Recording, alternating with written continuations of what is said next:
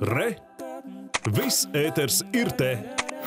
Ar citām, bet joprojām sportiskām Jā, nekur tālu no aktualitātēm. tā sporta neaiziesim, jo Geto Games gada balva ir pasākums, kurā saka paldies atlētēm par ieguldījumu ielu sportā un kultūrā Latvijā. Un tieši šodien šīs pasākums arī notiks. Un tāpēc uz sarunu esam aicinājuši Geto Games dibinātāju Raimondu Elbakjanu un Geto futbola līderi Antonu Semeņaku. Labrīt! Labrīt! Labrīt. Jā, ja pareizi saprotu, tad Geto Games jau noslēgusies 14. sezona. Nu, ja atceramies Geto Games kustības sākumu un šodienu salīdzinoši. Kā tas bija tad?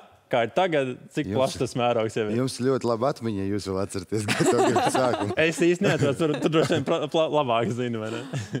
Ne, nu, nu, galvenā starpība jau droši vien kaut kādā, kādā septītā gadā droši vien tiks sasniegts kaut kāds uh, līmenis, kurā, kurā pēc tam jau tas progress vairs nenotiek tik strauji. Bet, uh, bet uh, no ar šādiem pasākumiem septiņu gadu atpakaļ mums laikam pirmo reizi bija uh, gada balva, pēc tam tikai vēl vienu reizi viņa ir bijusi. Mēs nevaram teikt, ka viņi ir gada balva, viņi ir vairāku gadu uh, pa gadu balva. Jā, jo tomēr tas iedzīvotājs skaits, es domāju, nav arī tik liels, lai katru gadu viņu taisītu. Mēs tā kā savstarpēji esam vienojušies, ka tas varētu būt ik pēc uh, caur vienu gadu. Un uh, savukārt caur to vienu gadu, kad vajadzēja notikt, iestājās pandēmija. Un tad, uh, principā, šis bija pirmais tāds uh, pēc pandēmijas gads, kurā tad arī iezīmējās kaut kādi labākie, labākie atlēti daudzās uh, disciplīnās. Un uh, uzskatījām, ka ir iemesls sanākt kopā, lai tā teikt pasvītrotu. Jo droši vien, ka cilvēks jau dzīvē, viņam svarīgi ir, ka viņu pamudina, pasvītro jauniem cilvēkiem, iedod lielāku nozīmi tām lietām, ko viņi dara. Jā, Anton, kā jūs teiktu, tieši geto futbols, cik vērienīga ir šī kustība un cik sena tajā kopīgajā geto vēsturē? Kopā jau ir pagājusi 12. sezona, ja tieši geto futbolam, praktiski no pirmsākumiem. Un uh, geto futbols izveidojas tad, kad izveidojas arī geto games. Jo pirms tam uh, visa kustība ir sākusies ar geto basketu. Un šogad mēs aizvedām pirmo mūsu Eirolīgu. Uh, 11 turnīri 11 valstīs. Un, ja mēs uh, tieši jautājam par, uh, kur, kur ir izaugsme, tad uh, aug plašums. Un šobrīd mēs aktīvi strādājam, lai uh, popularizētu un veidotu turnīrus visā pasaulē. Cik daudz jauniešu vispār ir Geto Games kustībā iesaistījušies līdz šim?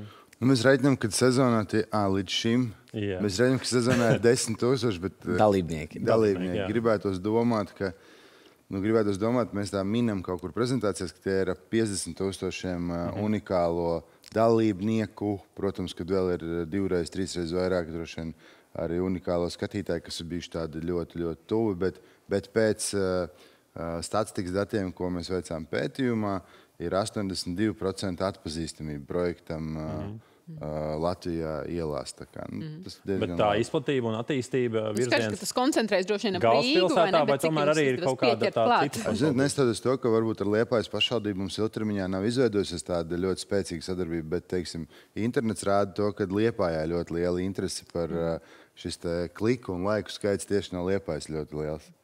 Kaut ko piebilst gribēju? Jā, pēc, pēc Rīgas jā, Liepa ir otrā populārākā. Kaut gan tur mēs Tā gan neesam vajadzētu būt bieži. Ventspilī. Jā. Vai vajadzētu būt Daugavpilī. Tāpēc, tā kā tā. Kā vispār norit tā sinerģija nu, šajā ielu sportā, ielu kultūrā ar pilsētu, ar pilsētu vidi, ar, pilsētu vidi, ar to infrastruktūru? Kā, kā, kā tas process, eh, tā ikdiena? Nu, sinerģija pirmkārt jau ir uh, šis asfaltētais laukums, kur vispār var notikt uh, šāda veida sacensības. Un patiesībā, ja, ja prasa, tad, tad šobrīd uh, ir olimpiskie centri, pie kuriem teorētiski ir lieli vai stāvlaukumi vai, vai liela šī platība.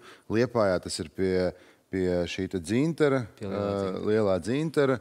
Uh, Vēnspilī mēs esam iepraktizējušies, jo tur ir uh, gan šis te skateparks pašā pilsētas centrā un arī olimpiskais centrs. Principā ir centrā lielais prospekts ir slēdzams. Tā kā Vēnspils ne tikai tāpēc, ka pašvaldība jau desmit gadus uh, iesaistās un ar uh, diezgan nopietnu finansējumu arī atbalsta šo pasākumu, bet viņi vienkārši arī tīri tehniski ir, ir, ir pielietojami šādam festivālam. Tā kā, Nu, katrai pilsētai nemaz nebūtu tāda iespēja uzņemt uh, tik lielu festivālu, kā piemēram Geto Games festivāls Ventspilī. Tā kā- Jā, Anton, varbūt nu, tīri cilvēkiem, kas mazāk par to ir dzirdējuši, un varbūt mazāk bijuši klāt, kā tu teiktu, ko vispār dod nezinu, jaunietim, arī pēc tam droši vien pieaugušiem dalība, nezinu, kaut, kaut, kaut, kaut kāda um, būšana šajā kustībā Jā. un tajā visā projektā. Es pat vairāk, vairāk varētu pateikt, ne tikai dalība, bet dalība, ka tu vienkārši esi atnācis tur. Mm -hmm. Pirmkārt, brīvā laika pavadīšana drošā vidē, mums nedrīkst smēķēt, pie, dzert un lietot narkotikas vai vēl kaut kam kaut ko līdzīgu. Mm -hmm. uh, laba laika pavadīšana, aktīvā vidē, un uh, mēs mudinām kustēties tos cilvēkus. Un, kas ir ievērots, piemēram, cilvēks atnāk vienu reizi, paskatīties, otru reizi, paskatīties, trešo reizi viņš jau piedalās un spēlē. Un, iespējams, ar to ir arī sasniegts rezultāts. Jo mēs gribam, tad, ja mūsu ķermenis būs vesels, visticamāk būsim veseli un ilgāk dzīvosim, un mentāli viss būs kārtībā. Jā, jau minējāt, ka gada balva pēdējo reizi notika 2017. gadā. Šogad atkal šis eh, pasākums, eh, cik daudz nomināciju? Ja mēs pateiksim, cik daudz, tad neviens neatnāks. À, ļoti daudz. Pat nevar šādi. À. Ļoti daudz, un ļoti daudz. Un patiesībā mēs ar Antonu paši arī vadām šo pasākumu, Jā. jo tie ir lieli svētki arī priekš mums. Un uh, mums tas scenārijs tāds salikts, ka pilnīgi mēs tā bliežam, bliežam, bliežam, bliežam lai ātrāk tiktu līdz tai kūkai. Jo ir ļoti daudz uh, cilvēku, kuriem kur ir jābalvo, kur ir uh, arī jāpasaka kaut kur paldies. Nu, labi, ja kategorijas nesaka, ja daudzumu nesaka, tad vismaz Nē, kategorijas par... saka tikai. Var pateikt. Nu, var iezīmēt. Nu, kaut ko iezīmēt. Mēs, nu, labākais uh, brīvrunātājs tiks uh, šis hip-hop battle vad, uh, mm -hmm. dalībnieks tiks apbalvots. Uh, basketbola kategorija, futbola kategorija, florbola mm -hmm. kategorija. Uh, ekstrēmie nu, sporta veidi, sporta veidi BMX, inline, skateboard, skūteri.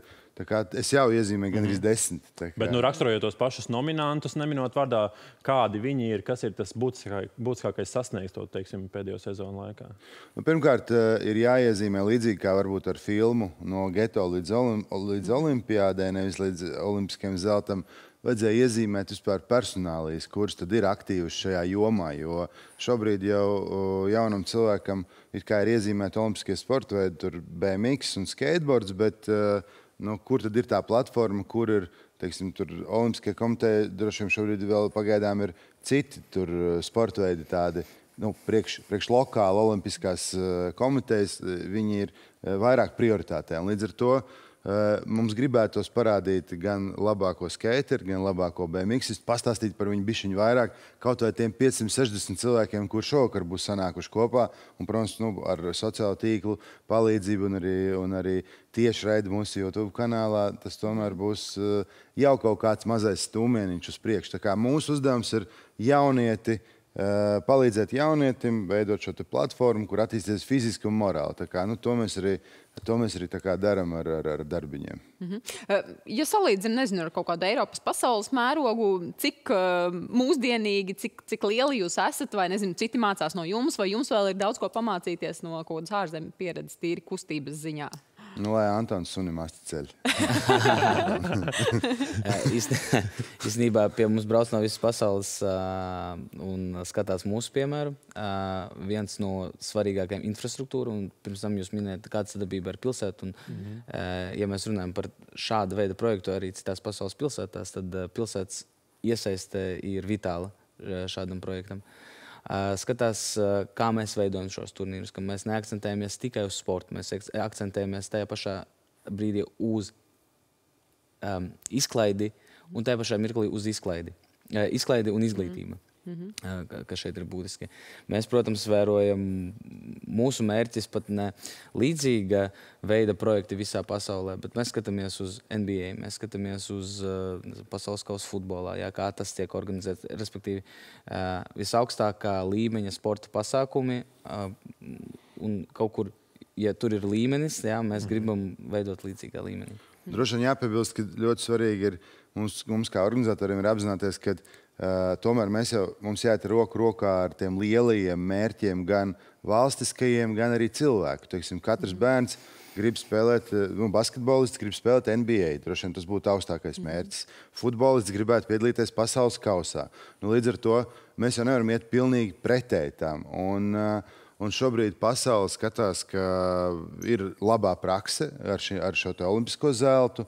Viņiem ir, uz, viņi sāk uzdot jautājumus, kā tas tā notiek. Un tad, principā, Mūsu uzdevums tagad būtu ir tā, ka Grūzija ir gatava ņemt geto games projektu un tā kā viņu realizēt. Un tad jautājums ir, kā tad, lai mēs viņu tā iepakojam un nododam tā kompleksi? Mm -hmm. Un šobrīd mēs principā mostamies ar šiem jautājumiem. Mums ir ļoti daudz sapulces, kur mēs sēžam, domājam, rakstam, tur pētam, kā tad nu, tur bija, kā mēs to varam vispār iepakot. Jo, jo pirms tam likās, nu, kā būtu, ka kāds ņemtu tā visu pretī. Un, un ir šobrīd valsts, kurām ir eh, ļoti pastiprināta interese, bet mēs nemaz nevaram tā vienā dienā to ņemt un nodot. Tā kā, ja kāds ir varbūt baigais eh, meistars un ir idejas, kā to iepakot, mēs būsim priecīgi, ja, ja jūs mums palīdzēsiet. Jo nodot šīs te zināšanas, tomēr mums ļoti piesaistīts daudz, kas ir personālajām. Un tāpēc mācāmies, bet ceram, ka izdosies jau tuvākajā laikā.